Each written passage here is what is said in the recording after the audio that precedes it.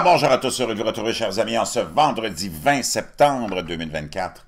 7h21 heure du Québec. Merci à ceux qui sont abonnés, ceux qui ne sont pas faits. Là, maintenant, merci à ceux qui m'envoient des liens et des messages toujours pertinents, très intelligents et toujours appréciés. Merci à ceux qui vont écraser le petit pouce en l'air, toujours important pour les algorithmes sur YouTube pour faire monter la vidéo.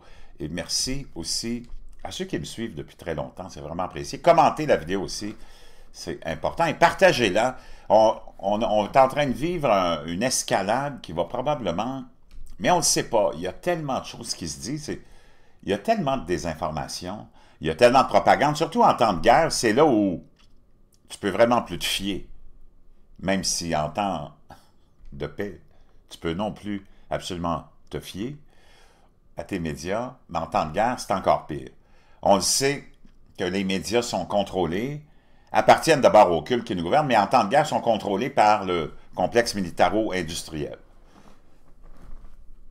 On a vu ce qui est arrivé au Liban, ça a pris tout le monde par surprise, naturellement, les attaques vraiment dignes, même pas d'un scénario d'Hollywood, on n'aurait même pas pu imaginer quelque chose comme ça les téléavertisseurs de centaines et centaines d'opérateurs du Hezbollah qui explosent partout où ils se trouvent.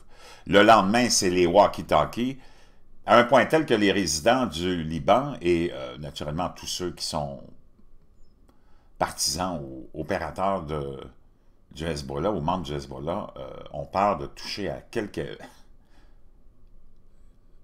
pièces électroniques que ce soit, appareils électroniques que ce soit.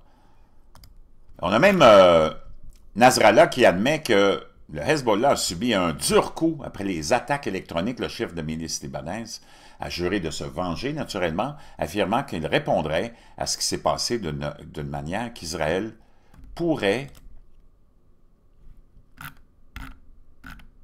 ou non euh, s'en remettre. Donc, c'est des grande, ou pourrait, à laquelle Israël peut ou non s'attendre. Un jour après la vague d'explosion euh, d'appareils électroniques liés au Hezbollah, le chef du groupe, euh, Hassan Nasrallah, a admis lors d'un discours télévisé que cette opération avait porté un coup sans précédent, même si elle n'avait pas affecté la capacité au groupe euh, de commander ni à communiquer. On le sait, ça a donné lieu à, comme on vient de le voir avec Nasrallah, à des promesses de vengeance. Israël avait déjà, il y a quelques jours, parlé d'une nouvelle opération dans le nord du Liban, ou le nord d'Israël, avec sa frontière avec le Liban, pour sécuriser une soixantaine de milliers de Juifs qui sont là. Ben, Israël a frappé de façon encore surprise et préventive, disons, euh, le sud ou le nord du Liban avec plusieurs, plusieurs frappes euh, aériennes, des centaines de missiles ont, été lancés euh, par ces euh, appareils hautement sophistiqués. On sait que l'armée israélienne est une des plus sophistiquées au monde je peux te dire une chose, ils ont touché plein, plein de lance-roquettes, de sites de lancement. On se préparait du côté du Hezbollah à envoyer, j'imagine, des milliers de missiles euh, pour essayer de percer le fameux dôme d'acier. Euh, et ça a donné lieu à des attaques très, très puissantes d'Israël. Israël affirme avoir frappé 100 lance-roquettes du Hezbollah, imagine. Donc, ça donne un dur coup euh, à euh, cette espèce de... Un, des moyens les plus... Euh, un des seuls que le Hezbollah a de toucher Israël avec des, des roquettes, genre un type de missile à moyenne courte portée, une salve de roquettes a été tirée depuis le Liban vers le nord d'Israël, indiqué l'armée israélienne avec des armes activées dans des zones sud, euh, du nord. Cela survient après qu'Israël ait mené des frappes aériennes massives dans le sud du Liban, ciblant les positions du groupe soutenu par l'Iran.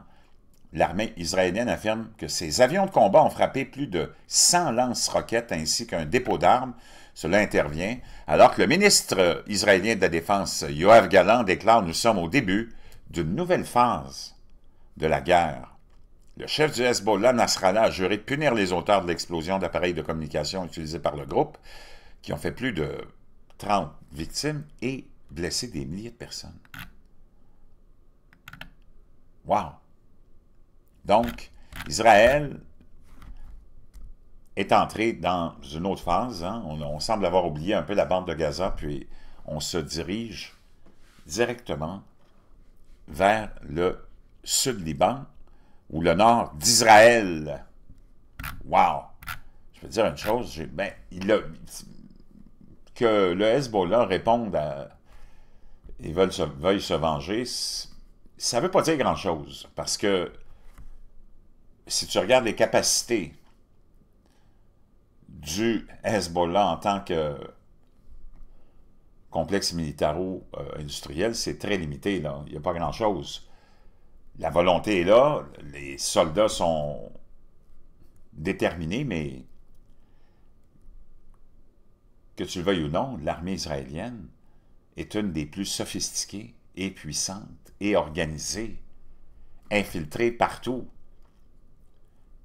c'est l'armée probablement d'un un des plus petits pays, mais la plus puissante au monde. Donc, c'est beaucoup de propagande, beaucoup, beaucoup de propagande. La propagande, ça vient de très, très loin. On va aller sauter dans un article très intéressant. Puis on le sait, la CIA, le FBI, contrôle la plupart des médias américains et canadiens et européens par euh, ricochet je veux qu'on plonge, on laisse le, conflit israélo-libanais puis palestinien euh, de côté. D'ailleurs, je ne sais pas si vous avez remarqué, on, naturellement, les médias, dans les médias, tu as, différentes catégories de médias. Tu as ceux qui prétendent être sérieux, tu as ceux qui sont dans le, sensationnalisme. On parle toujours de guerre, de guerre. Depuis que le conflit Ukraine-Russie a commencé, je ne sais pas combien de ces médias comme le Sun, US Sun, euh, euh, même le Daily Mail ou plein d'autres, euh, on pourrait qualifier de feuilles de chou, là, mais qui sont toutes dans le même complexe médiatique, ont répété à maintes reprises que Vladimir Poutine était sur le point de mourir depuis trois ans, cancer ceci, cancer cela, Parkinson. C'est comme n'importe quoi. Guide d'initiation à l'expression théorie du complot. Soudain, tout au long de la... L'expression théorie du complot a pris de l'ampleur dans l'ère du temps. Hein? C'est là où la plupart des gens ordinaires ont pris conscience et entendu l'expression théorie du complot. Un peu comme chaîne d'alimentation ou chaîne d'approvisionnement. Hein. Tu sont arrivés avec des termes techniques dont tu n'avais jamais euh, vraiment entendu l'utilisation, mais là, pendant la... C'était juste ça que tu lisais. Donc, même chose pour l'expression, naturellement, avec tous ceux qui exposaient la... Ça a pris de l'ampleur. Soudain, quiconque remettait en question une version officielle était considéré comme un théoricien du complot méritant la censure et, dans certains cas, une peine de prison. Beaucoup de mes podcasts remettant en question, euh, celui de l'auteur de cet article-là, remettant en question l'existence de ceci, par exemple, ont été censurés et même signalés aux autorités comme étant de la désinformation. Pourquoi? Avoir une opinion est-il considéré comme une menace? Bref, historique. L'expression théorie du complot est apparue pour la première fois au 19e siècle pour désigner l'étude des complots, souvent axés sur des intrigues politiques et des complots secrets. Au départ, elle avait une connotation neutre, voire même positive, soulignant l'importance d'enquêter sur les activités secrètes, ou ce qu'on appelait autrefois affectueusement le journalisme. Puis, au 20e siècle, l'expression a commencé à prendre une tournure négative grâce à la CIA. Je vous en avais déjà parlé de ça. On plonge dans la commission Warren, celle qui a été euh, euh, mis sur pied par les élus américains après l'assassinat de John F. Kennedy pour essayer de trouver les liens de Lee Harvey, Oswald dans cet assassinat de John F. Kennedy. La commission Warren était une imposture, c'était une dissimulation politique depuis le début. Ça, c'est Gérald Posner, l'auteur de ça, qui nous dit ça. Pourquoi l'expression théorie du complot dérange-t-elle autant de personnes? La réponse, c'est la propagande. Depuis les années 60, la propagande a été utilisée pour décourager la discussion ou l'enquête sur de nombreux événements, dont l'assassinat de John F. Kennedy, jusqu'aux missions Apollo. Et récemment, naturellement, à la Suite aux doutes grandissants de l'opinion publique sur les conclusions de la commission Warren concernant l'assassinat de JFK, la CIA a émis une directive détaillée à l'intention de ses stations. Pour être clair, le grand public ne croyait pas à la version officielle selon laquelle Lee Harvey Oswald avait commis le fameux acte. La commission Warren, créée par le président Lyndon B. Johnson, le 29 novembre 1963, a été chargée d'enquêter sur l'assassinat de John F. Kennedy le 22 novembre 1963. Intitulé « Contrer les critiques du rapport de la commission Warren », ce mémo a contribué massivement à l'utilisation du terme « théorie du complot » pour discréditer ceux qui remettent en question les opérations et les politiques secrètes du gouvernement. Ironiquement, le juge en chef, Earl Warren, qui a donné son nom à la commission Warren, était probablement au courant de cette dissimulation. On voit dans le New York Times du 5 février 1964 le petit bout de texte suivant. Yesterday, in, this, uh, in discuss, uh, discussing a general question on whether testimony taken by the commissioner would be made public, Mr. Warren said. Donc, il discutait à savoir s'il devait, euh, sur les questions euh, de témoignage par le, la, la, commission, si ça devait être fait de façon publique ou euh, derrière euh, des portes closes. M. Warren, le juge, a répondu, Yes, there will be There will come a time, but it might not be in our lifetime. I'm not referring to anything especially, but there may be some things that would involve security. This will be preserved, but not made public. Oh!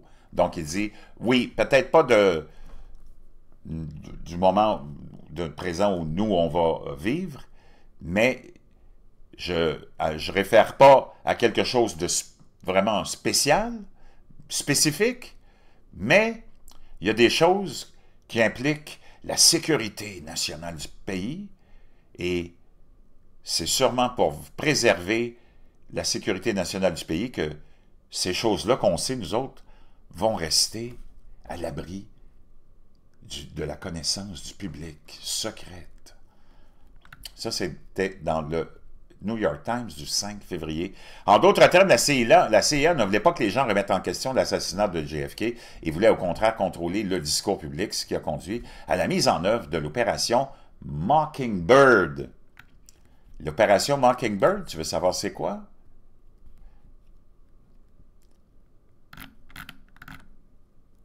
La CIA hein, est un service de renseignement étranger du gouvernement des États-Unis. Elle a été créée en 1947 et son siège social se trouve en Virginie.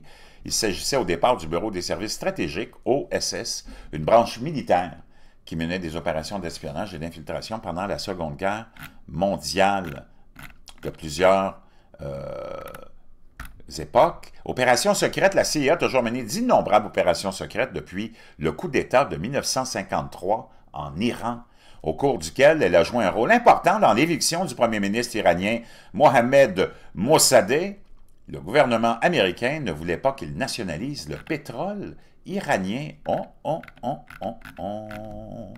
Une autre opération fut secrète, secrète fut l'invasion de la baie des Cochons en 61, une tentative avortée du gouvernement pour renverser Fidel Castro. On a eu MK Ultra aussi, au début des années 70. Les journaux américains ont révélé que le FBI, la CIA et l'armée américaine et d'autres agences étaient impliqués dans des opérations de collecte de renseignements extrêmement douteuses comme MK Ultra. MK Ultra est un programme de contrôle mental officiellement entre 1953 et 1967.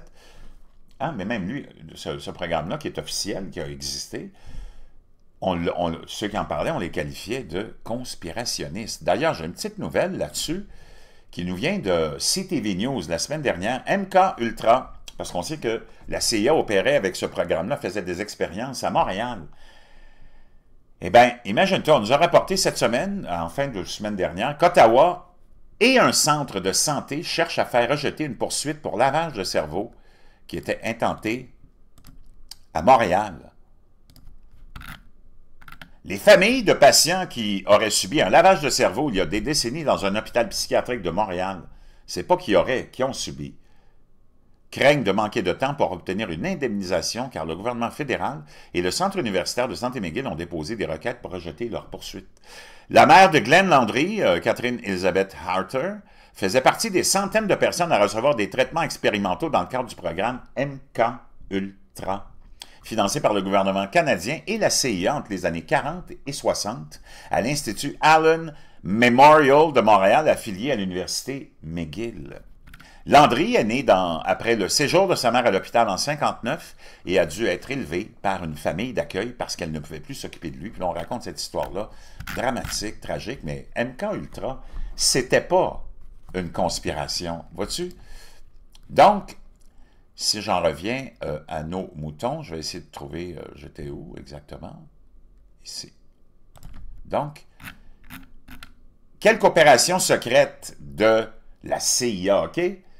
L'opération Ajax en 53, renversement du premier ministre iranien. L'opération PB, Success 54, renversement du président guatémaltèque, Jacob Arbenz. Invasion de la baie des Cochons. Opération Chaos, c'était l'espionnage intérieur sur des citoyens américains pendant la guerre du Vietnam. Opération Condor dans les années 70, collaboration, collaboration avec des dictatures sud-américaines pour éliminer les opposants politiques. Pardon. L'opération Cyclone 1979-1989, financement des Moudjahidines afghans pendant la guerre, euh, soviéto-afghane on se rappelle de l'Iran-Contra, hein, la vente secrète d'armes à l'Iran pour financer les Contras au Nicaragua, opération Gladio, époque de la guerre froide, projet secret de l'OTAN impliquant des organisations paramilitaires, Stay Behind, et ainsi de suite, ainsi de suite, complètement cinglé, complètement cinglé. Et la fameuse opération Mockingbird, OK? Ça, c'est très important de comprendre ce que c'est.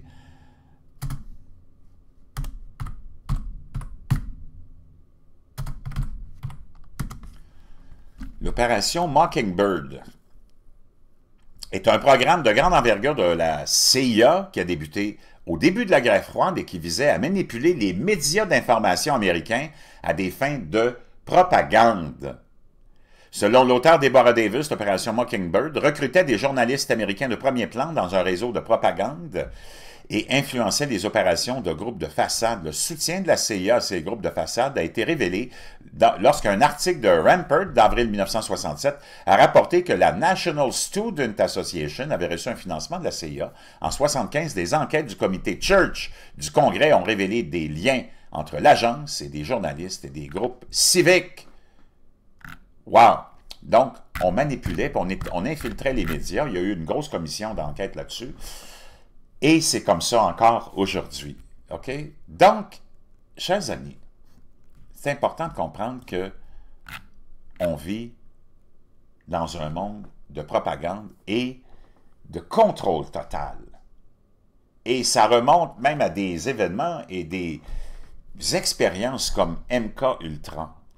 La directive connue sous le nom de document 1035-960 a été publié par la CIA en 1976 après une demande de la Freedom of Information Access du New York Times, dans laquelle elle détaille une série d'actions et techniques pour contrer et discréditer les allégations des théoriciens du complot afin d'inhiber la circulation de telles allégations dans d'autres pays.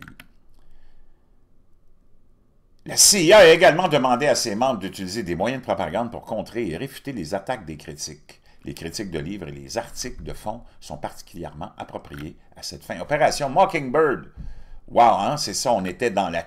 On a infiltré totalement, puis encore aujourd'hui, tous les médias sont infiltrés par la CIA, le FBI, le complexe militaro-industriel, le complexe pharmaceutique, et j'en passe et j'en passe. L'expression théoricien du complot est aujourd'hui souvent utilisée de manière péjorative lorsque les gens l'utilisent pour mettre fin à une conversation.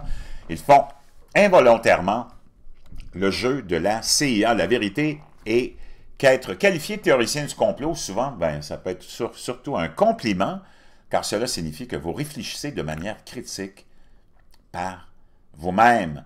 Avant d'être retiré de la, ou viré de la chaîne de Fox, Tucker Carlson avait consacré un reportage sur l'implication de la CIA dans l'assassinat de JFK. C'était quelque chose qu'aucun autre média grand public n'avait eu le courage de faire. On va aller l'écouter. Je ne sais pas si je peux retrouver le lien. Non, on ne nous donne, donne pas parce que, naturellement, on ne veut pas que vous l'entendiez. Mais moi, je vais vous le trouver. Bougez pas. OK, j'ai trouvé la fameuse vidéo. Probablement ce qui a initié le congédiement de Tucker Carlson. C'est super important. On va l'écouter, ça dure 7 minutes. Je vous traduis l'essentiel, OK, au fur et à mesure. Parce que pour comprendre ce qui se passe dans ton monde, il faut que tu aies entendu et vu de tes yeux vus ce que tu vas voir et entendre maintenant. Carlson, tonight, So, not long after, Jack Ruby shot Lee Harvey Oswald on camera in the basement of Dallas Police Headquarters. Donc, pas longtemps après que Jack Ruby ait assassiné Lee Harvey Oswald dans le sous-sol de, je pense que la Cour de justice, imagine-toi. A lot of Americans started to have some questions about the Kennedy assassination. Beaucoup de gens se sont posé des questions sur l'assassinat de John F. Kennedy.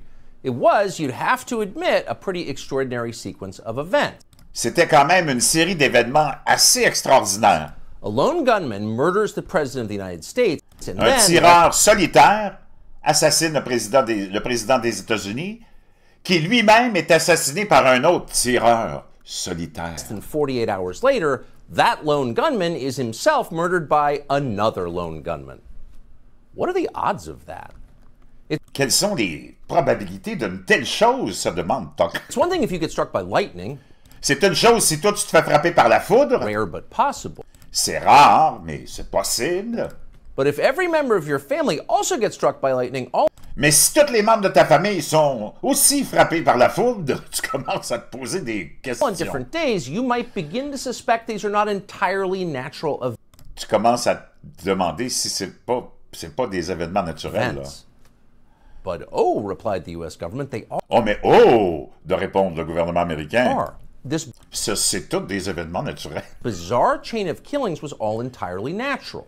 Tous ces événements bizarres sont des événements naturels. So less than a year after the JFK assassination, the Johnson White House released something called the Warren Commission Report. Donc, on a eu la fameuse commission Warren qui avait été euh, implantée par euh, Johnson. and the report concluded that while their motives remained unclear, même si les motifs, la, la commission a conclu, les motifs demeurent vraiment obscurs. Both Lee Oswald and Jack Ruby had acted alone. Mais Lee euh, Harvey Oswald et Jack Ruby ont vraiment agi de façon solitaire. No one helped them. There was Il n'y a personne qui les a aidés. no conspiracy of any kind. Il n'y a aucune conspiration de quelque type que ce soit. Case closed. La, le cas est fermé. Move on. Il faut many, bouger, il faut, faut, avancer à autre chose. Many Americans did move on. Et beaucoup d'Américains euh, ont tourné la page. At the time, they had no idea how shoddy and corrupt the Warren Commission was. Mais à l'époque, ils ne savaient pas comment c'était obscur et corrompu la commission Warren. It would be nearly 50 years before the CIA admitted under duress. Et ça a pris 50 ans avant que la CIA admette that in fact it had withheld information qu'elle avait retenu des informations secrètes sur l'assassinat.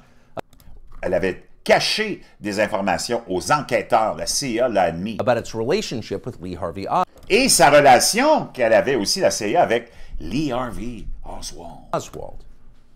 But even then, at the time, before that was known, Mais même à l'époque, avant que ça, ça soit connu, the government's explanation didn't seem entirely plausible. l- l'explication du gouvernement semblait pas vraiment plausible. And some people started asking obvious Et là, tu as des gens qui ont commencé à se poser des vraies questions. questions about it. Et là, c'est à ce moment-là que les Américains ont commencé à douter de l'histoire officielle. the term conspiracy theory entered our lexicon. Et c'est là où la fameuse expression théorie du complot est arrivée dans notre euh, jargon. As Professor Lance DeHaven Smith points out in Comme le professeur Smith le, le, le- le his précise book on the subject, sur son livre, dans son livre sur le sujet, le terme conspiration, il n'existait pas vraiment dans le, le jargon des Américains de tous les jours dans leurs conversations avant 1964. the term conspiracy theory did not exist as a phrase in everyday American conversation before 1964. In 1964, the year the Warren Commission issued its report, the New York Times published five stories Imagine-toi, en 1964, l'année où on a publié le fameux rapport de la commission Warren, le New York Times, hein, lui, c'est vraiment l'appareil euh, du, euh, de l'état profond, du complexe militaro-industriel, de tout ce que tu peux imaginer, a publié cinq histoires dans lesquelles le terme théorie du complot apparaissait. in which conspiracy theory appeared. Now, today, of course, the term conspiracy theory appears in pretty much every New York Times story. Donc maintenant, le terme théorie du complot appara- apparaît dans presque toutes les publications du New York Times. about American politics. à, cause, à, à propos de la politique et de tout ce que tu peux imaginer. It's wielded, now as then, as a weapon against anyone who asks questions that C'est utilisé, naturellement, comme dans le temps, comme une arme contre tous ceux qui posent des vraies questions. On est toujours accusé de théoricien de- du the complot. government doesn't feel like answering. Surtout dans des questions où le gouvernement n'a pas vraiment envie de te répondre. But despite 60 years of name calling, those questions have not disappeared. In Mais peu importe, après 60 ans d'insultes et de, de, de- de- de rhétorique, ces questions n'ont pas été résolues. fact, they have multiplied with time. Mais même qu'on pourrait dire qu'elles se sont multipliées les questions, nous dit Tucker, concernant l'assassinat de JFK. And here's one of them. Et en voici une. In April of 1964, a En avril 1964, psychiatrist called Louis Joylin West un, un psychiatre qui s'a- qui s'appelle euh, Julian West visited Jack Ruby in his isolation cell in il a visité Jack Ruby dans sa cellule d'isolation en avril 1964. Jack Ruby, celui qui a tué Oswald, Dallas jail. dans la prison, dans une prison de Dallas. According to West's written assessment, he found that Jack Ruby was, quote, technically insane and Il, a- il avait, en rencontrant Ruby, déclaré qu'il était complètement fou, in Ruby, need of immediate psychiatric hospitalization. et qu'il avait besoin d'une hospitalisation psychiatrique immédiate. Those are conclusions that, puzzlingly, no one who had spoken to Jack Ruby previously had reached. Et ça, c'est des conclusions que des gens qui ont parlé à Ruby euh, juste avant la visite de ce psychiatre n'avaient pas trouvé. Ruby had seemed perfectly sane to the people who knew him. Et tout le monde qui connaissait Ruby euh, ont déclaré que Ruby était complètement sain d'esprit. Louis Joylin West pronounced him crazy. Mais le psychiatre, West, l'a déclaré fou. But what, what West did not say Mais qu'est-ce que West n'a pas dit, le was psychiatre? that he was working for the CIA Il n'a pas dit qu'il travaillait pour la CIA. at the time.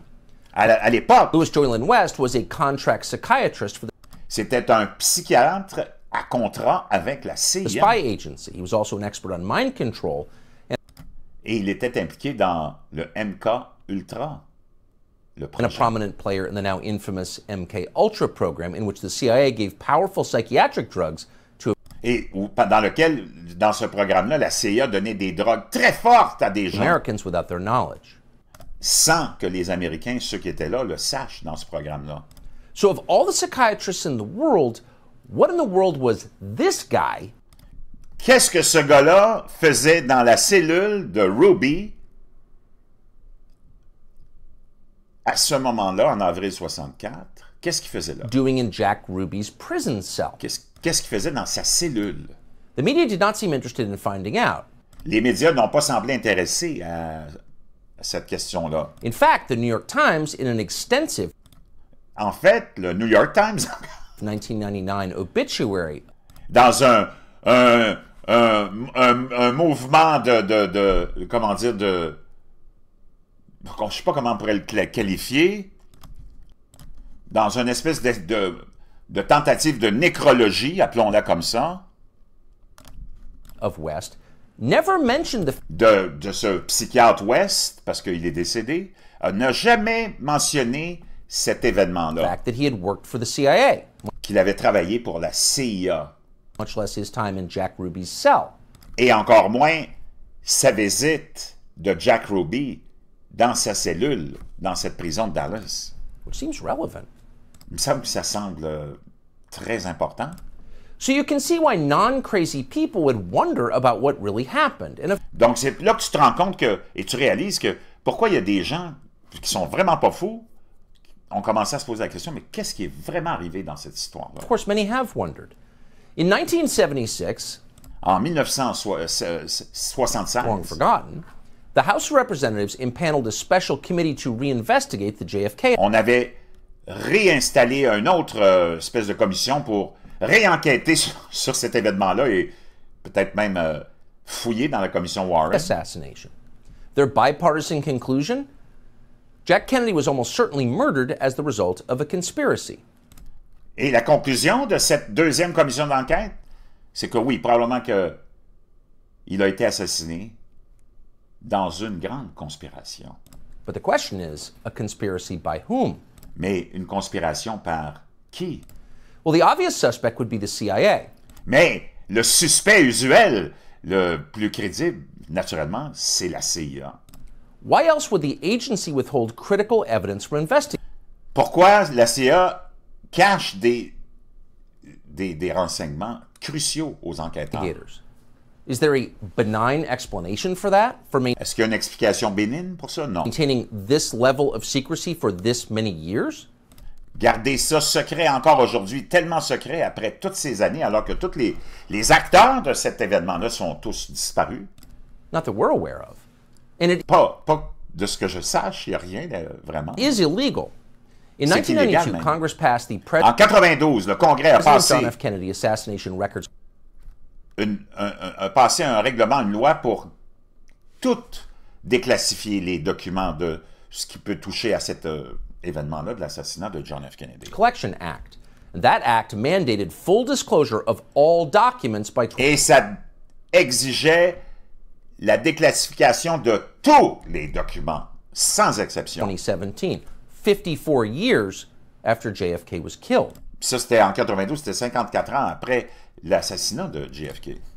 The last administration promised to comply fully with that law, Et l'ancienne administration a promis de respecter cette loi. but under intense pressure from CIA Director Mike Pompeo, mais sous des pressions énormes du directeur de la CIA que Trump avait nommé, Mike Pompeo, ben, il a convaincu Trump de ne pas le faire. withheld in the end thousands of pages of CIA Puis donc, quand même, même si Trump en a publié, sous les pressions de Pompeo, le directeur à l'époque, on a quand même gardé secret des milliers de pages. documents. Today, this afternoon, the Biden administration did exactly the same thing. Et aujourd'hui, là, c'est Biden qui était président quand euh, Tucker a parlé de ce sujet-là, qui était le 22 novembre. Euh, non, le. Je vois pas la date de la publication. Ça fait un an, donc, l'an l'an dernier. L'administration Biden a gardé exactement la même directive, la même direction. On a gardé secret encore ces milliers de pages. Pourquoi? That would be thousands of pages of documents after nearly 60 years, Après 60 ans. after the death of every single person après la mort de tous ceux qui ont été impliqués là-dedans. Donc, qu'est-ce que tu veux cacher? involved. But we still can't see them. Clearly, it's Mais on not peut toujours pas voir ces documents. to protect any person, they're all dead. C'est pas pour protéger des personnes, elles sont toutes disparues. It's to protect an institution. C'est pour protéger une institution. But why? Pourquoi? Well, today we decided to find out. Mais aujourd'hui, on a décidé de chercher et trouver pourquoi. We spoke to someone who had access to these still hidden CIA documents. J'ai parlé avec quelqu'un, on a eu accès avec quelqu'un qui a accès à ces fameux documents qui sont cachés encore aujourd'hui. The person was deeply familiar with what they contain. Et une per- cette personne-là est très familière avec ce que contient ces documents. We asked this person directly Et on a demandé à cette personne directement, Did the CIA have a hand in the murder of John F. Kennedy, an est-ce que la CIA est impliquée dans l'assassinat de John F. Kennedy? American president? And here's the reply we received Et voici la réponse qu'on a reçue de cet homme ou cette femme, on ne sait pas, verbalement. The answer is yes. I believe they were involved. It's a whole different country from what we thought it was. It's all fake. Il dit oui, la réponse oui, la CIA était impliquée là-dedans. Je crois qu'elle est la réponse est oui. Il dit I believe they were involved. Je crois qu'ils sont impliqués. Il dit c'est un pays totalement différent de ce que tu penses dans lequel tu vis. C'est complètement fake. Quote, the answer is yes. I believe they were involved. It's a whole different country from what we thought it was. It's all fake.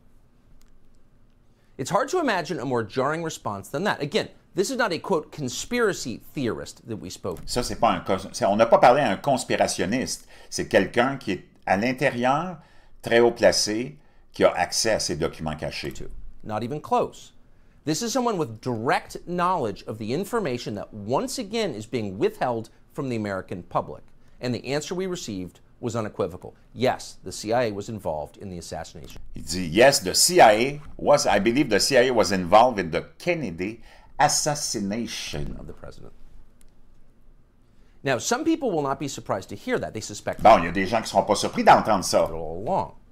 But no matter how you feel about or what you thought about the Kennedy Mais peu importe ce que tu penses de, des Kennedy ou de tes émotions face à au Kennedy, assassination, pause to consider what this means.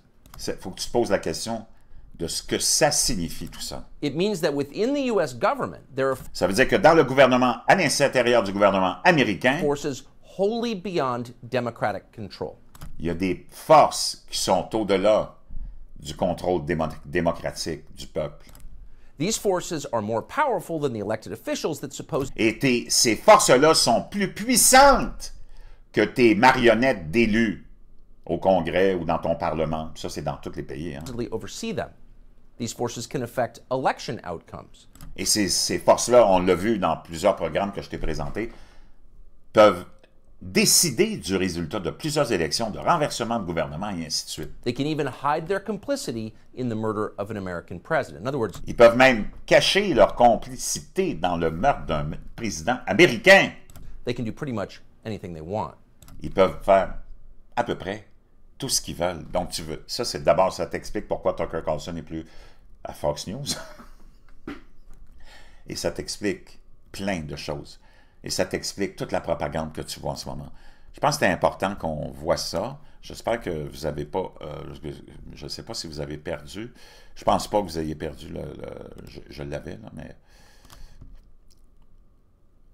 Quelle histoire. Je vous laisse ça dans la boîte de description, puis on se retrouve euh, un petit peu plus tard.